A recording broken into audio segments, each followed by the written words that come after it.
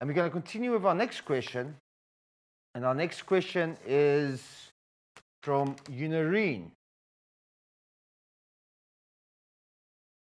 Okay. Now, I assume she asked me to answer question 2.2 because unfortunately I don't have the diagram for 2.1.7 and 2.1.8. Now, if you look at question 2.2, Unarine asks this question, is basically choose, give one term for each of the following descriptions by choosing a term from the list below. Write only the term next to the question number. Now let's just quickly have a look at the term. I'm not going to go and look at the description. Yeah, because I want to know what we're dealing with over here. With what? What topic do we, are we dealing with here?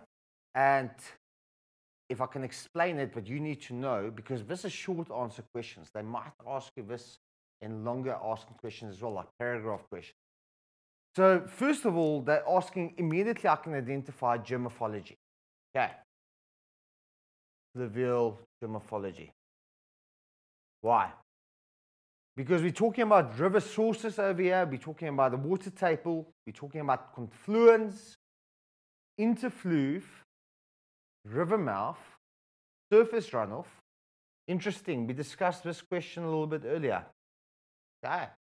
And groundwater and drainage basin. So what we're dealing with over here, we're dealing with fluvial geomorphology. Okay.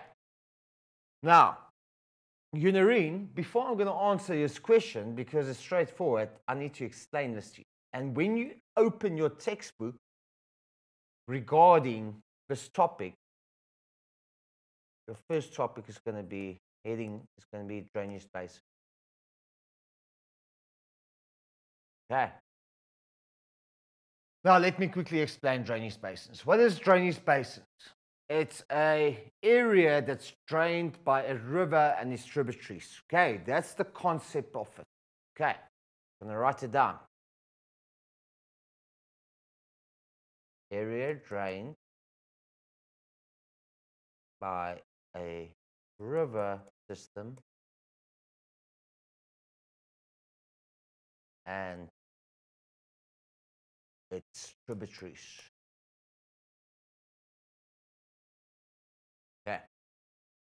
Now that's the definition for a drainage basin. Now let's just quickly draw a drainage basin. Now I'm going to explain a lot of nice things for you to, but just with this drawing. Okay, there's the main river. Now remember, a river always starts from the source. And eventually when it flows into the ocean, that's known as the mouth. Now, that's a river. It starts from a source and it ends in the mouth where it flows into the ocean. Not necessarily the ocean, it might be a lake as well. Okay. But the source is where it originates, usually from a high-lying area such as mountains. I'm going to use the Tugela River as an example. Okay, Tugela originates from the Drakensberg Mountains. It's a small stream. Okay, from, from the mountains, from a fountain, it originates. And eventually when it flows into the ocean, it's a massive river, almost half a kilometer wide. Okay, massive. Now, first of all, this is what separates one drainage basin from another. It's usually a high-lying area, and I'm going to indicate it with an axis, area. It's a high-lying area. A high-lying area might be mountains, might be escarpment, Okay? So it separates one drainage basin from another. So there might be another drainage basin over there. This high-lying area that separates this drainage basin from that one over there, from this one to that one, this high-lying area is known as a, I'm going to use my green color pen, This high-lying area is known as a watershed. Okay, that's the definition of it. A watershed is the high-lying area separating one drainage basin from another. Okay. Now, coming back to my Tugela River. Now, remember, other rivers starts joining this river. Okay. Many other rivers. Eventually, as the river starts to move down to the ocean, for instance, might be the Umkomaas, etc. Okay, many other rivers joining this other rivers. And these other rivers joining the main river is known as tributaries. Okay. So the other rivers, all of these are known as tributaries. Okay. Now where these rivers meet, for instance, I'm just going to make small yellow circle. Okay. Where the one river meets the other river, it's known as confluence. Okay. So what do we have here? The river starts from its source and it ends up in the ocean or lake, the mouth. What separates one drainage basin from another is known as the watershed. Okay.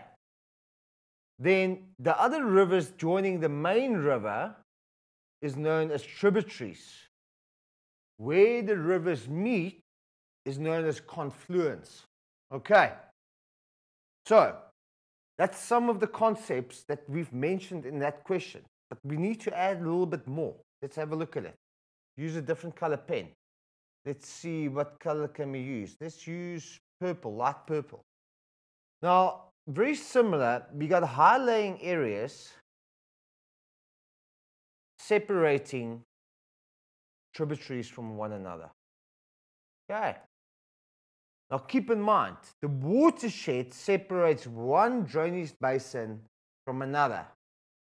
The high-lying area separating one tributary from another tributary is known as an interfluve. Okay, for instance, this area over here, high-lying area, known as an interfluve. Okay. So this is basically in rough our drainage basin. Consists of this river, origins of the river, the source to the mouth. Separated by a watershed, and represented in green.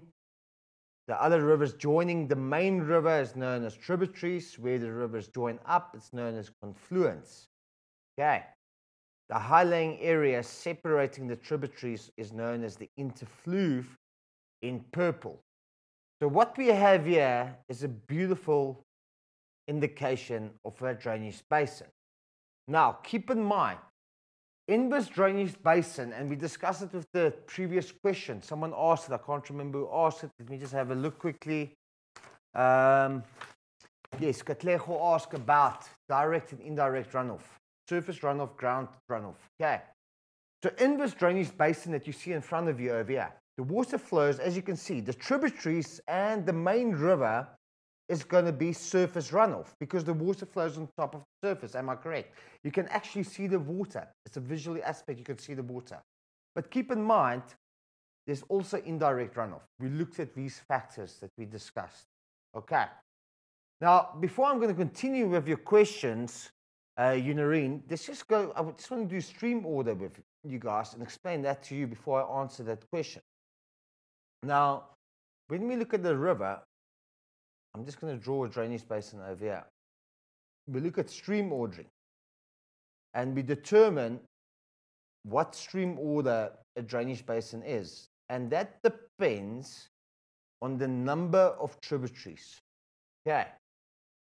Now the formula goes as such. Uh, what one stream order plus another stream order equals a second stream order.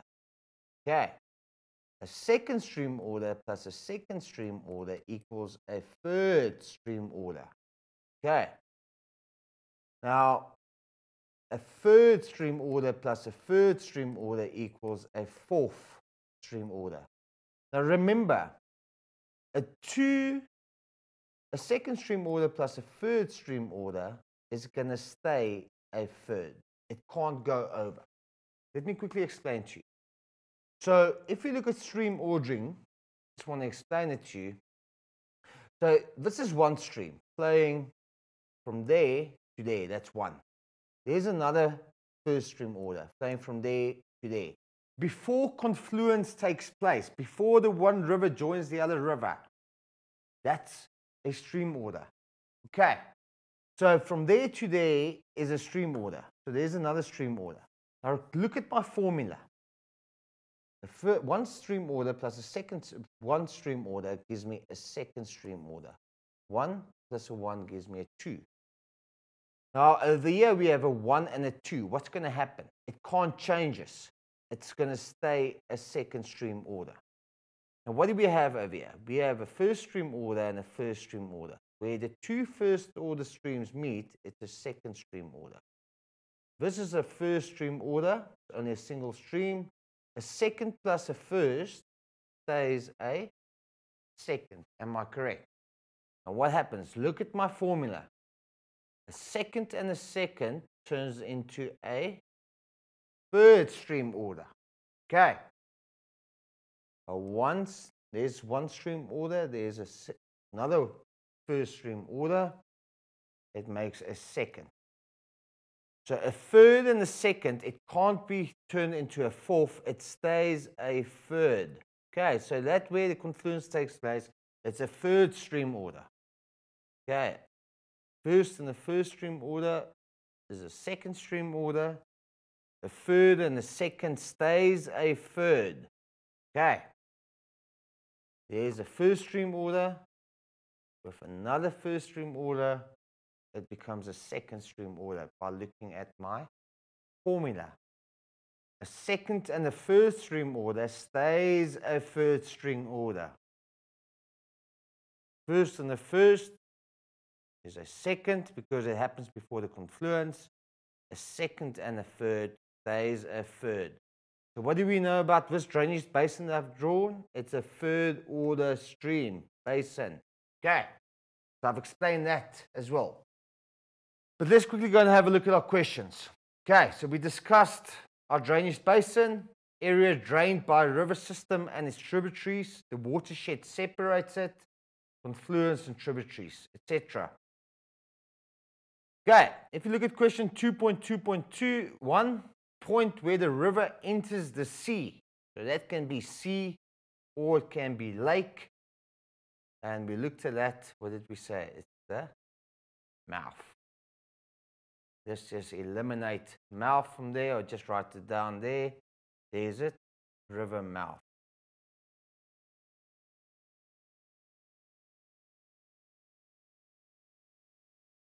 water that has infiltrated the soil. So we discussed that with Katlego's question. Surface runoff on top of the surface, or when it infiltrates, there's the correct answer, groundwater. Excellent.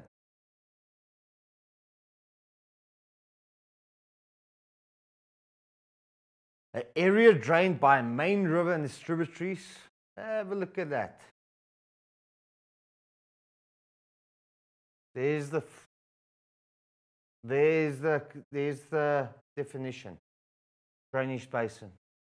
Okay.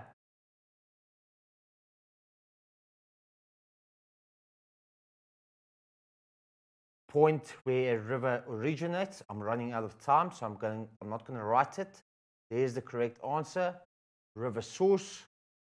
The upper level of the saturation zone is known as the water table.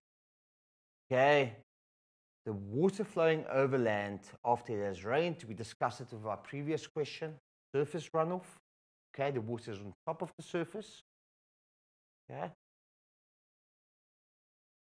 Then, point where tributary meets the main river.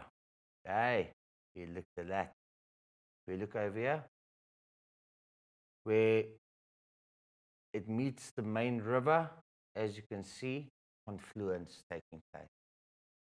Great, Charles. This is all we've got time for. Thank you so much for joining in.